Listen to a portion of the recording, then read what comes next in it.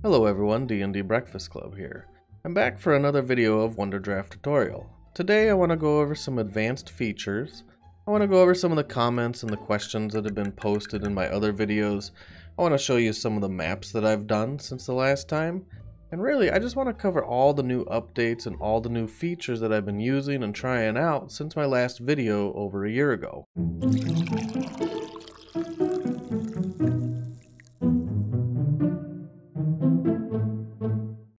First, let's just make sure that you're updated to the newest version of WonderDraft. Right now we're on version 1.1.1. If you're not updated, pause the video and go ahead and do that right now. There's a lot of features that are interesting that you might not have yet. Once you've done that, let's go ahead and open up a new map. I'm going to open up a map that we've been using for the past 20 sessions of our D&D campaign. The first thing you might see is this is not a continent map, it's not a world map, it's just a smaller region. My friend came to me and said, I have this idea for what I want, can you help me make this map? I had him draw out a rough draft, just an outline, took a picture of it, uploaded it into WonderDraft, and used it as an overlay. After that, I just painted around it and we talked about some different features and different things that he wanted. I filled in the details and this is the final result.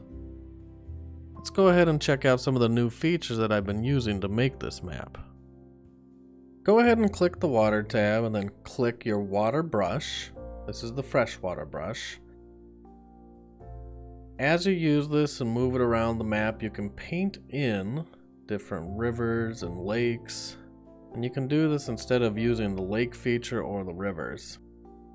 It has a little bit more control than previously, and it's affected by the freshwater tool in the water tab. Go back to map effects. Click your freshwater color and drag it around and you'll notice that it changes the color, but it doesn't change the color of the oceans. Go ahead and click your land tool this is one of the most prominent features and something that I think was absolutely necessary for WonderDraft. This has been added since the last time I did any tutorials. Go ahead and click the brush tool, pick any of these colors, move to your map, and start brushing on it. You'll notice that when I brush, everything is colored at the same time. Instead, I'm going to expand the filters, click all, deselect everything, and click ground. Now as I start brushing, you'll notice that it's not brushing anything but the ground.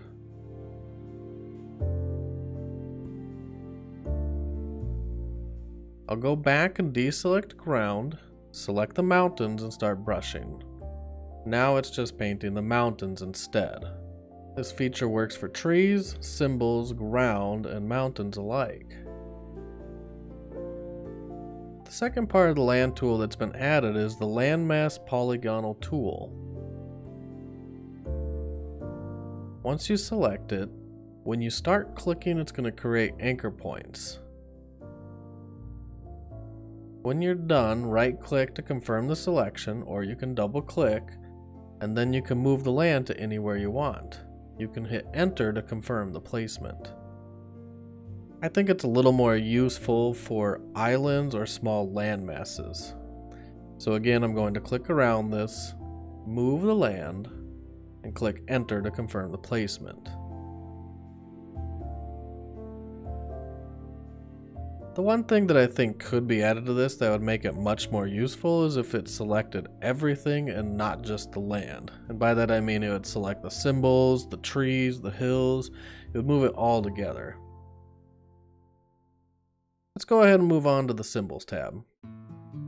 Here in the Symbols tool, they've added some new things. Go ahead and click the set, scroll down, and you'll see all the different installations that are in the assets. That'll include the custom assets that you install. The things that you see here are all default. There are a few new things they've added since the last time I did a video. So you got Arabia, walls, wall boulders, and sci-fi buildings. Let's go ahead and move on to the labels. Click the label tool. go ahead and make a new label, and I'll just scroll through all the different fonts.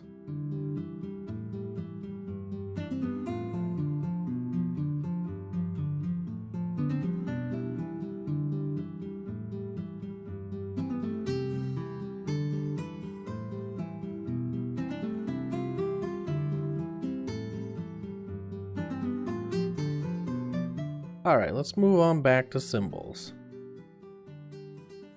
On the right tab you see two buttons, Map Effects and Symbol Layers. Select anything that you can, like a mountain or a tree or a symbol. And when you click it, you'll notice there's 10 different layers. This should give you enough room to work with keeping things in front or behind each other. It works with pretty much everything except paths. So let me move this bridge over here and see if I can put it in front of everything. Clicking any of these layers on the positive side puts it in front. Clicking any of the layers on the negative side puts it behind. These are all the additions and features that I wanted to show you, so let's go ahead and move on and look at some of the comments and the questions that I've had from my chat first comment comes from Barney. He says, My girlfriend bought this for me today and I'm already in love with it. I noticed that zooming in and out moves the map to weird locations. How do I center it? Centering I found is pretty easy. I use control scroll wheel for the most part. If you control scroll wheel out, it, it kind of moves it a little bit weird. I understand what you're saying. Go ahead and click the middle button in and drag it around. This should help you center it. When you zoom in, it zooms into the focus of your mouse. If I move the cursor over to this island and zoom in, you notice it zooms into that. Alternatively, if you just want to center it for everything, click Control 0 and that fits it to the screen. This key combo isn't that easy, but if you want, you can change the preferences at your whim. Go to Menu, Preferences, there's four tabs at the top. Click Hotkeys.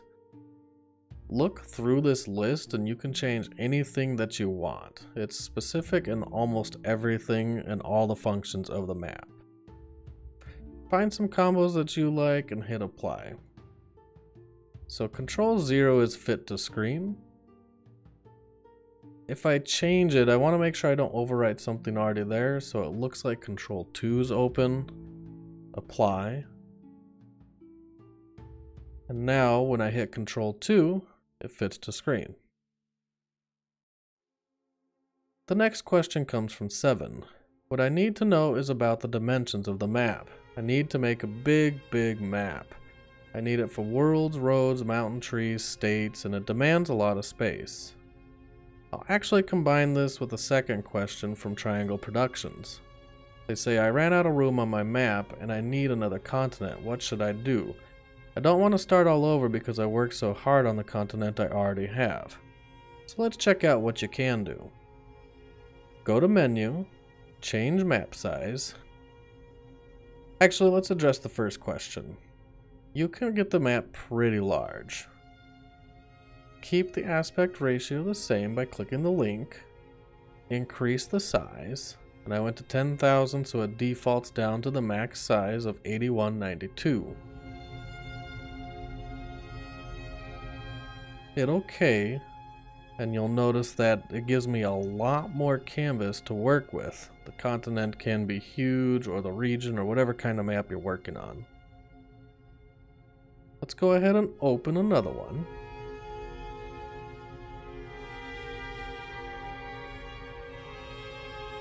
Let's go again. Menu, change map size, maintain aspect ratio, increase the width to max. This time I'm going to select scale map.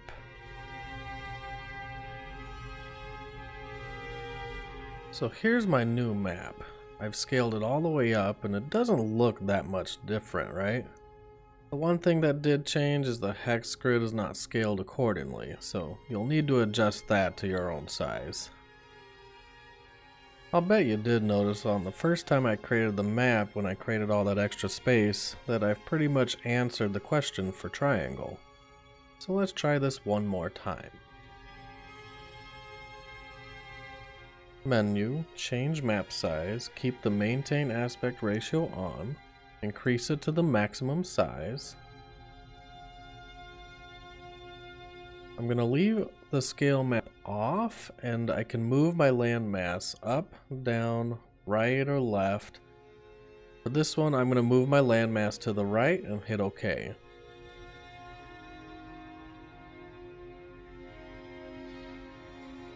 Once I zoom out, you'll see that there is a lot more canvas to work with and my land stayed on the right hand side. I'll show you one more feature of the polygonal lasso tool that can be used in different circumstances that I missed. So click the tool,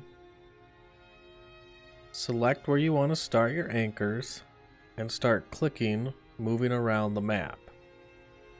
I'm going to drag this anchor all the way around the map.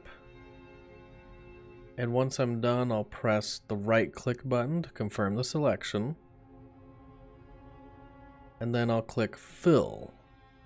Once I do that, it fills the entire place with land. The entire selection that I've created gets filled with land. It can be easier to do this for larger maps than trying to use the brush tool. Adding the land with the brush tool takes a long time in large maps. If you do this, all you'll have to do is readjust the coastlines afterwards.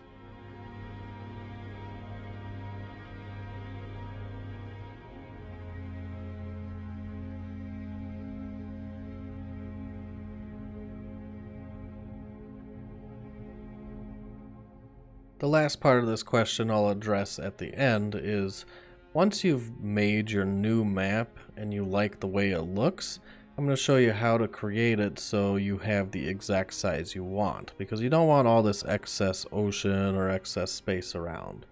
So go back to menu, create detail map,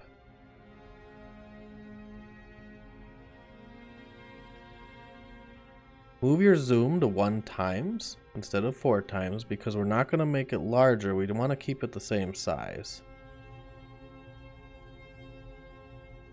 If you keep all those filters selected, it changes the symbols, the trees, the mountains, the paths, the labels accordingly.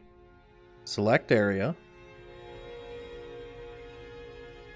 And then click and drag to make sure you have the right map size. click create.